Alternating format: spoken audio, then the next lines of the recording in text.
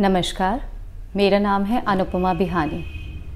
मैं Lokmat news dot in के स्त्री मानुष कैंपेन के लिए आप सबसे बातचीत कर रही हूँ। मेरा प्रोफेशन है इंटीरियर डिज़ाइन का। वास्तु की मदद से we do beautiful homes and prosperous to आज हम चर्चा कर रहे हैं कि क्यों महिलाओं को लेडीज़ को अलग से क्यों जाना जाता है कि महिला ने ये कर दिया तो वाह, ऐसा नहीं है। जैसे पुरुष हैं, वैसे ही महिलाएँ हैं। जितना बराबर का दर्जा, मान, सम्मान उन्हें मिलता है, उतना ही महिलाओं को मिलना चाहिए।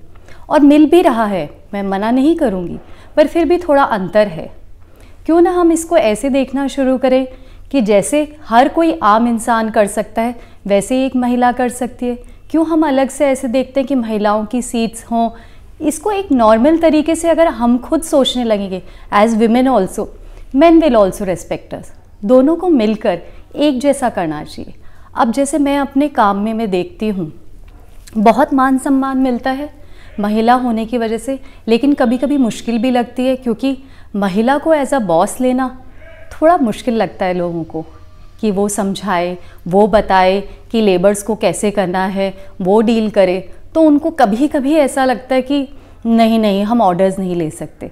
लेकिन जब हमारा व्यवहार अच्छा होता है, हमारी नॉलेज पूरी होती है तो वो बराबर का मान देते हैं। उसी तरह से, उसी स्नेह से मिलते हैं।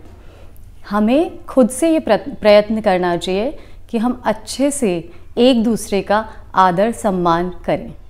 मैं लोकपत न्यूज़ डॉट इन की स्त्री मानुष कैंपेन को सपोर्ट करती हूँ और मैं चाहूँगी आप भी करें।